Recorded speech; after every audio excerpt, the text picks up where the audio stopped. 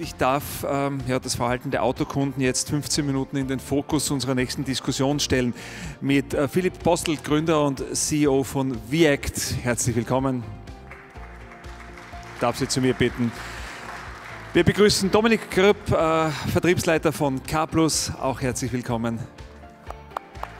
Und Andreas Handel, Head of uh, Corporations in Stock Finance, Santander Consumer Bank. Auch grüß Gott und einen schönen Tag. Ganz kurz zur Vorstellung. Äh, VIACT, Datenspezialist für die Automobilindustrie in den Bereichen digitale Sales, After-Sales-Analyse, Marketingunterstützung, digitalisiert Marketing- und Vertriebsprozesse im Handel. Äh, die verfügbaren Datenquellen äh, werden natürlich jetzt auch von den Kunden geliefert Daraus macht man gute Kampagnen mit Hilfe der VIACT Marketing Cloud erfolgreich. Wenn Sie dieses Ergebnis hier gesehen haben, äh, die Kunden sind digitaler geworden, liefern damit aber auch entsprechende Daten, mit denen sie weiterarbeiten können. Ja, also das ist das große Thema. Das Thema Datenqualität im Handel, ähm, das ist schon ein, ein Thema, das es sehr lange gibt. Aber jetzt gerade haben wir es gehört. Jetzt ruft der Kunde an. Ja, aber dazu brauche ich die Telefonnummer des Kunden, ähm, damit ich genau diese Informationen herstellen kann. Und genau an der Stelle setzen wir aktuell stark an, dass wir nochmal genau reinschauen und sagen, welche Informationen über den Kunden habe ich? Das werden immer mehr Daten. Wie kann ich sie vernetzen und wie kann ich auch den Kunden einbinden, um herauszufinden, was möchte er denn? Wie möchte er denn mit mir kommunizieren? Und man ist immer wieder überrascht, wie viele gerne auch immer noch telefonieren. Ja, und äh, dann kann ich sicherlich einen Chatbot einsetzen, aber der braucht dann sehr viele Informationen ähm, oder den Mitarbeiter. Und auch der Mitarbeiter braucht diese Informationen direkt vorbereitet. Ich rufe an, weil ich brauche einen Pickerl, ähm, ich fahre ein Service-Leasing, ist alles mit inkludiert, nächster Termin ist dann und dann fertig. Und das sind die Themen, mit denen wir uns beschäftigen. Und das macht aber natürlich auch das Autohaus, das macht den Mitarbeiter, die Mitarbeiterin erst richtig kompetent, wenn sie eigentlich sofort die richtigen Informationen über den Kunden parat hat, wie wir gerade gehört haben. Das stärkt ja auch das Verhältnis zwischen Kunden und Autohaus. Das ist die einzige Chance. Wir müssen den Mitarbeitern es leichter machen. Es werden immer weniger Mitarbeiter im Handel für mehr Kunden. Das haben wir ja in unserem ersten Vortrag von Oliver Bohnen gehört. Und dann muss ich die Mitarbeiter effizienter machen und ich darf sie nicht durch sieben Systeme schicken, sondern ich brauche die Informationen zur Hand, damit ich den Kunden mit meiner Persönlichkeit, mit einer, Beratung äh, überzeugen kann und nicht, indem ich in Systemen suche. Mhm. Dazu kommt jetzt auch noch ganz kurz äh, die Daten, die diese Unternehmen, die Sie alle haben. Das ist ja ein gewisser Datenschatz und man weiß oft gar nicht, auf welchem Datenschatz man sitzt, weil sie vielleicht unstrukturiert und äh, noch nicht gut durchforstet sind. Ähm, absolut. Also äh, wir haben zum einen die Herstellersilos. Also wir werden immer mehr Hersteller, die auch Daten haben, Fahrzeugdaten, Kundendaten. Ähm, aber die meisten Händler haben ja mehr als eine Marke. Also ähm, auch da, wo ist der Kunde aktiv? In welchen Geschäftsmodellen ist er schon bei mir? Und das zu vernetzen, das ähm, ist die Aufgabe vom Handel. Ja. Kurz zu Dominik Grüpp, äh, Vertriebsleiter bei K+, äh, stammt aus dem Mutterkonzern der Wiener Städtischen Versicherung, war dort in Führungsrolle, Vertriebsaußendienst, Trainer für die Kfz-Sparte, neben BWL und Wirtschaftspsychologie-Studium mit dem Schwerpunkt Vertriebswirtschaft, dann das Führungskräfte-Trainee-Programm Autoliebhaber und damit zu K+, gewechselt.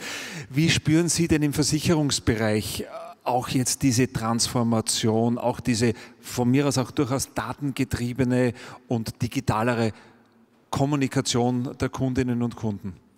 Also zuerst danke für die Einladung. Ähm, wir sind davon überzeugt, dass Customer Journey grundsätzlich ein hybrider Prozess ist. Was meine ich damit?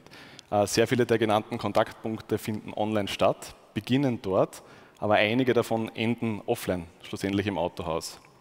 Und wir haben es zu unserer Aufgabe gemacht, unsere Autohäuser vor Ort zu betreuen und bei diesem Wandel zu unterstützen. Und wir kriegen einfach immer mehr mit, dass viele derzeit den Fehler machen und den Schwerpunkt rein auf den Online-Bereich dieser Customer Journey setzen, aber gerade diesen hybriden Transformationsprozess hin zum Autohaus von diesem Kunden, der sich sehr lange online informiert hat, wir haben es gerade vorher gehört, es ist die zweitwichtigste Entscheidung im Investment nach dem Wohnraum, da möchte ich keinen Fehler machen.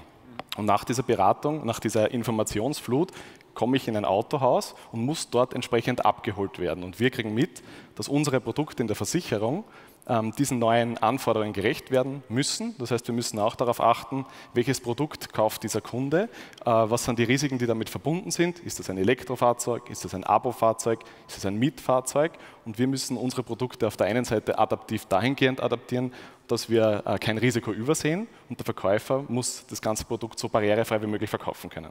Das heißt, es muss auch so einfach wie möglich, keep it short and simple, so einfach wie möglich zu erklären sein, weil genau. äh, wir wissen ja ohnehin auch, äh, die Verkäuferinnen und Verkäufer haben ja immer mehr zu bewältigen, also neue Fahrzeuge, neue Funktionen, neue Einschulungen. Dann kommt noch die Versicherung mit neuen Produkten und neuen Angeboten. Je mehr Entscheidungen man treffen muss, desto schwieriger wird sie dem Kunden gemacht. Das heißt, Sie gehen auch in diese Richtung, dass man sagt, simpel und gut überschaubar. Genau, also wir versuchen da diese diesen Spagat zu schaffen, auf der einen Seite die Deckung nicht als Nachteil der Beratung zu machen und auf der anderen Seite unseren Verkäuferinnen und Verkäufern als, ähm, als Partner zur Seite zu stehen. Das heißt, die Software muss so intuitiv wie möglich sein, ist jetzt direkt implementiert oder als Webshop betrieben und gleichzeitig muss sich aber der Verkäufer parallel auf den Kunden konzentrieren können. Und das gelingt ihm nur dann, wenn eben die Software unterstützend aufbauend gewisse Fragestellungen vorbereitet, sodass ich als Verkäufer auch nichts übersehen kann. Es ist die Versicherungsberatung ein sehr umfangreicher Prozess.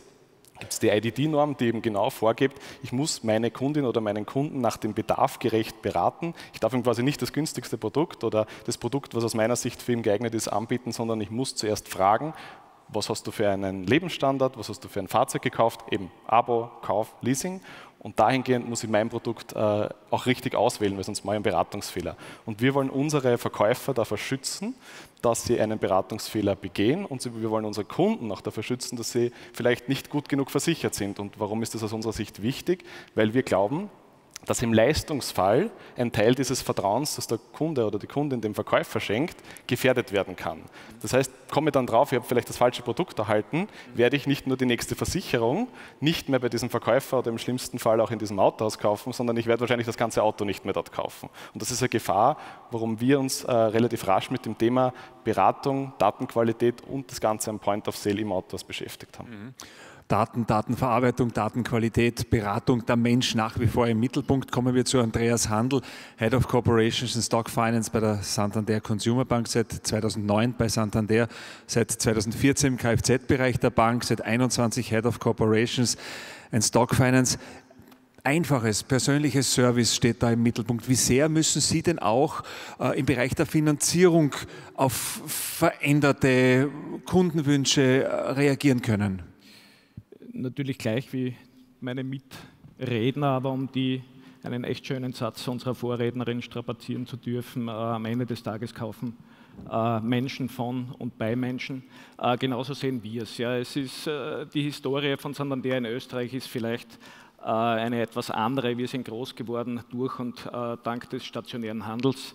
entsprechend hat sich ein Loyalitätsgefüge entwickelt. Ja. Wir sind da dankbar und durchaus demütig und sehen auch grundsätzlich die mittelbare Zukunft äh, des Verkaufs, ungeachtet der unterschiedlichen Generationen, die auf den Markt dringen, ähm, im stationären Autohandel. Vielleicht eine Zahl, wir werden heuer erstmalig die 800 Millionen Euro Grenze im Retail-Finanzierungsvolumen äh, durchbrechen. Ich denke, da sind wir als markenunabhängiger Kfz größter markenunabhängiger Kfz-Finanzierer Österreichs durchaus repräsentativ und rund 95 Prozent davon äh, machen wir dank des stationären Handels. Ja.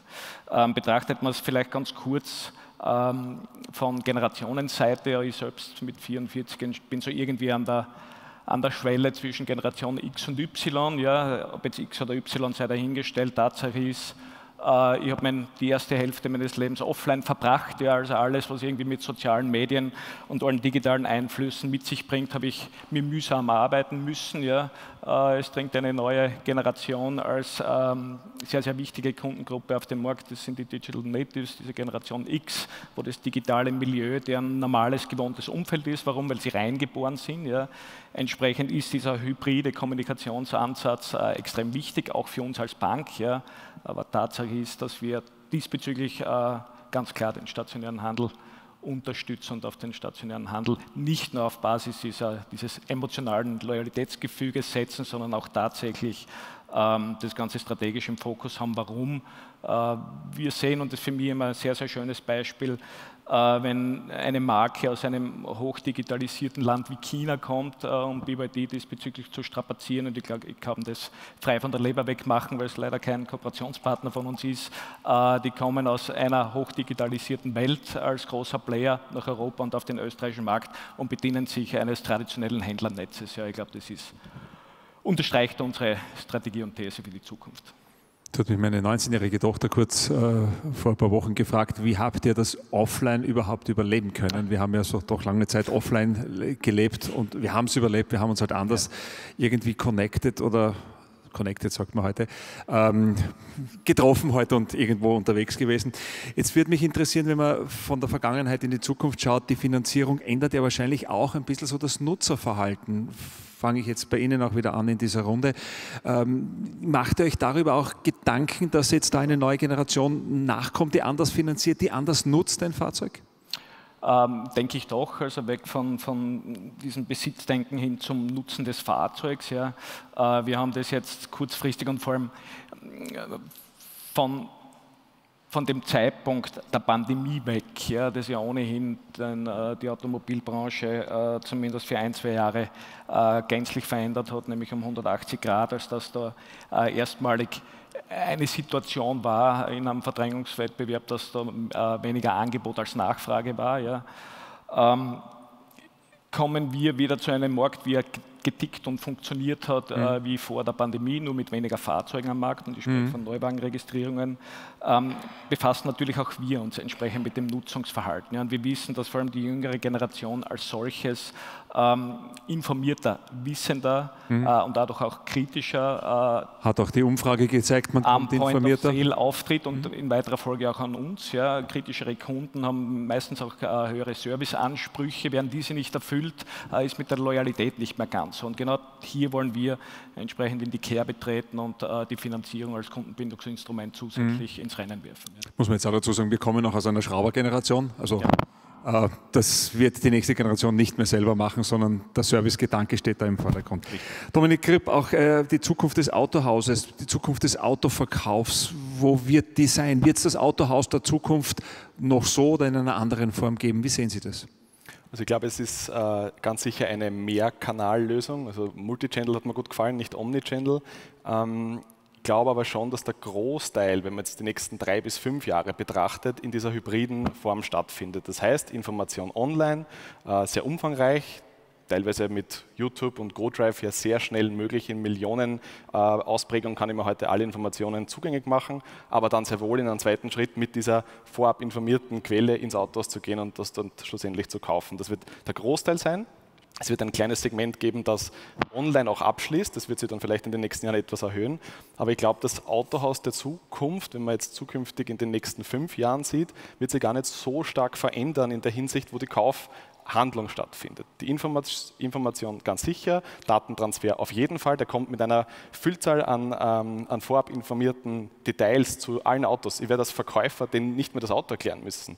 Äh, ich brauche heute nicht mehr Details über die Ausstattungen zu wissen, das weiß der Kunde eh. Der kommt von einem YouTube-beratenden äh, Verkaufs- oder Beratungsgespräch, das geht ja heute ganz einfach, geht ins Autohaus und will eigentlich nur noch diese Bestätigung haben.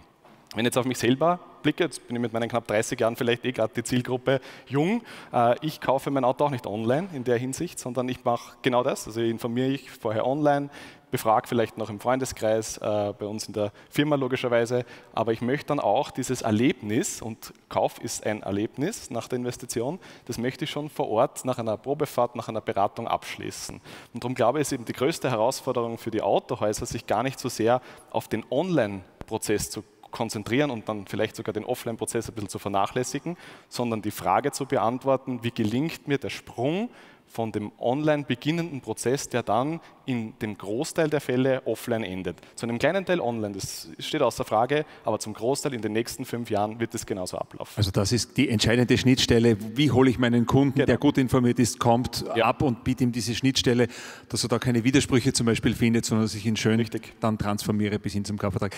Ähm, ich durfte vor kurzer Zeit in München drehen, äh, in einer großen ähm, Forschungsstätte, wo es um UI, UX geht, also User Interface Interface User Experience, wo einfach ähm, Fahrzeughersteller sich damit auseinandersetzen, wie kann der Kunde im Auto jetzt mit seinem Fahrzeug kommunizieren, weil er vielleicht auch, wenn es autonom oder teilautonom fährt, längere Zeit die Möglichkeit hat. Das heißt, dieses Connected Car ist jetzt, und jetzt komme ich wieder zu den Daten zurück, ist eine wichtige Geschichte. Ist die Kommunikation eigentlich mit dem Auto mittlerweile wichtiger mit dem Kunden als äh, die Kommunikation generell äh, über das Fahrzeug selbst?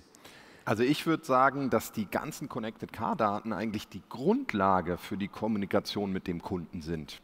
Denn alles das, was das Fahrzeug mir meldet an Bedarfen, an Zustand, muss ich ja dann in der Kundenkommunikation oder kann ich in der Kundenkommunikation nutzen. Und wir sehen da eine komplette Veränderung im After-Sales-Marketing, wo man vorher versucht hat, den Kunden ähm, proaktiv anzusprechen auf ja, Wahrscheinlichkeiten, das ersetzt sich in dem Moment, wo das Fahrzeug einfach meldet, hier, das sind die Bedarfe. Und da kommt für den Handel, glaube ich, die ganz große Herausforderung, dass ich jetzt eben in der Lage bin, es dem Kunden einfach zu machen und nicht sage, da ist ein Problem, sondern zu sagen, hey, dein Fahrzeug hat Bremsenservice fällig, wir stellen fest, wir können gleich die Räder mitwechseln, weil es ist jetzt die passende Zeit.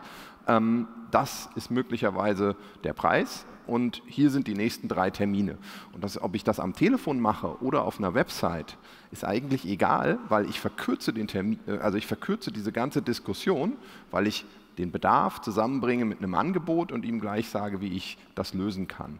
Und da sehe ich, dass wir über sieben Minuten in der Terminvereinbarung aktuell sparen können, wenn wir die Daten zusammenführen und zum Beispiel das Thema Online-Termin um 18 Prozent erhöhen kann, wenn ich genau diese Prozesse nutze, wo ich die Daten nutzbar mache, zusammenführe und so der Mensch oder auch die KI oder auch der Kunde selbst dann einfach den Vorgang abschließen kann. Und das sind die Tools, die Sie unter anderem anbieten. Genau. Das sind die Tools.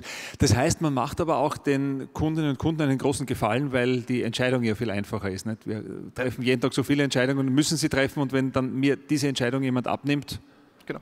Oder ihn auch mal wieder positiv verstärke. In Ihrem Servicevertrag ist das mit drin, kostet in dem Sinne nichts. Ja? Also diese Information, da den Kunden zu differenzieren, das ist wichtig. Letzte ganz schnelle Runde, kurze Antworten. Was müssen die Autohäuser, was müssen die Betreiber von Autohäusern aus ihrer jeweiligen Sicht als nächsten Schritt unbedingt beachten? Den sollte man auf keinen Fall auslassen. Sie also beginnen. Ich würde sagen, Kundendatenqualität erhöhen und prüfen. Die Brücke bauen zwischen Online und Offline? Datenqualität nutzen ja, und finanzieren, finanzieren, finanzieren. okay, danke schön. Was für ein Schlusswort, wie unerwartet. Dankeschön, danke Ihnen allen. Danke Dankeschön, Philipp Postelt von WIEC, Dominik Krüpp, K+, und Andreas Handel von Santander.